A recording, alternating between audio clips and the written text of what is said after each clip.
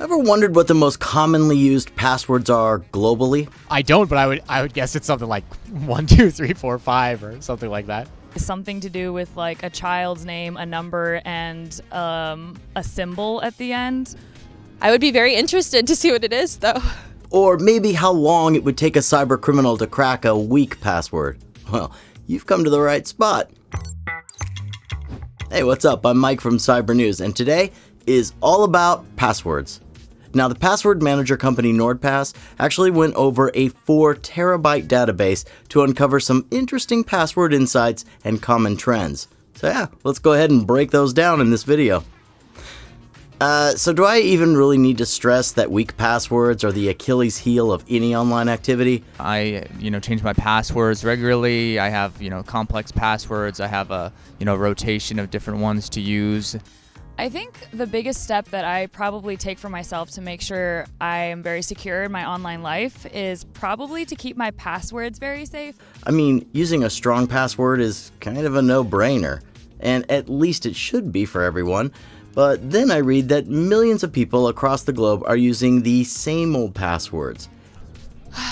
When I'm creating a strong password, to be honest, I just do whatever the website tells me to do. And ranking first on Nord's most commonly used passwords for 2021 is Um, I assume the most common password is password. I don't know.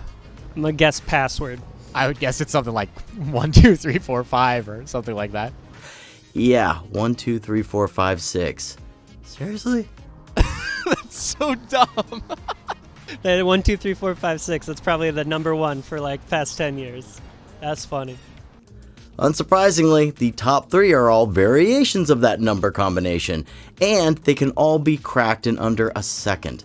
In fact, according to NordPass research, 169 passwords out of 200 can be cracked in less than a second.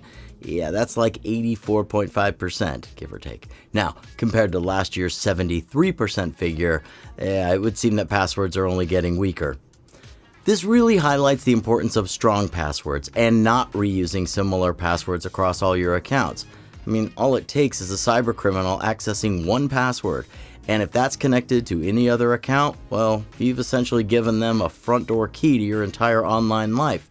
Yeah, I always worry that you know someone's gonna get into my accounts. I I don't use a lot of passwords, so I'm kind of worried that somebody's gonna find out one of them and get into you know half of the stuff that I use. Even the more advanced passwords would only take about three hours to crack. Uh, by the way, MySpace 1 has been used over a million times in 50 countries. This password ranks number 54 on Nord's list, and come on, how long have you people been using that password for?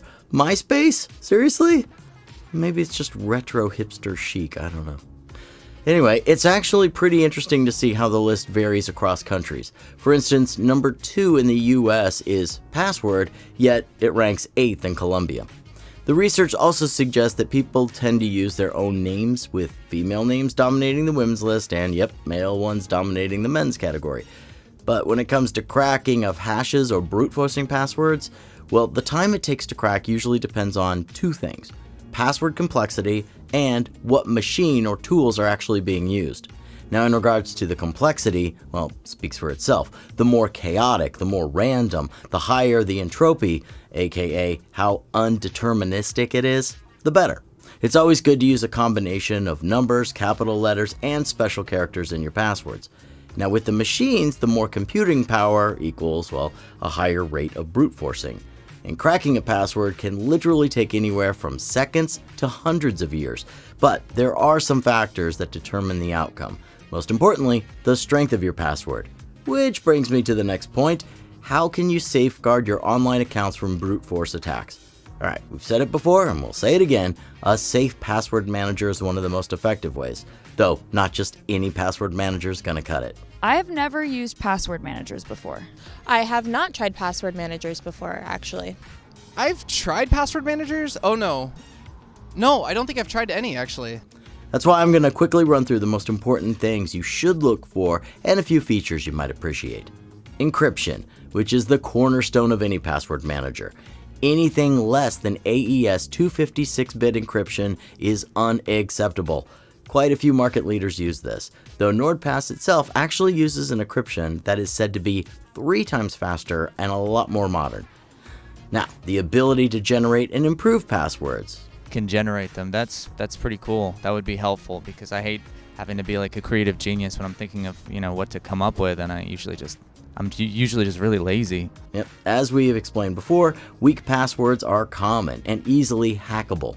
Most password managers should have a good password generator, but I really like that NordPass can generate passphrases that are actually easy to memorize, or easier to memorize, I guess. They also have a way to easily check your password health if you're not sure. What is my password now? I'm not telling you my password. One of the more important factors for me are security features, which is where you seem to get the best value for your money. Although I always use an antivirus on its own, having some form of dark web scanning in my password manager is a godsend. Dark web scanning essentially notifies me when my credentials are leaked in any dark web databases, and top dogs like Dashlane and NordPass have these capabilities. The alerts are not limited to your account credentials either. You can even get notified about banking info being leaked. Reputation, another pillar in the cybersecurity world. It's cool that NordPass has been through third-party independent audits, it's a great way to prove the application you're using has a high level of security, and not all password managers have undergone these audits. So choosing the right password manager really depends on the capabilities you're looking for. Now the must-haves that we just mentioned are a great place to start. And if you're considering NordPass at this point, well hey, don't forget, I always add the best deals I can find down in the description. So check out the NordPass promo links down there. We aren't sponsored by any providers, only affiliated by some, so it really makes a difference if you use our discount links and help us to continue making this content while, yeah, also saving you some dough. Now, moving on, a strong password is a must and should never be an afterthought. A reliable password manager can often be the most convenient solution, storing and crafting your passwords so, yeah, you don't have to.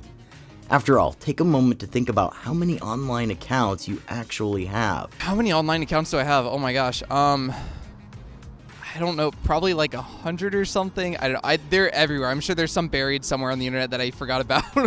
um, I probably have somewhere uh, just because of like online shopping and everything. I probably have like uh, it averages like 12 that you use, and then like 20 you got to sign up for just to do a shipping.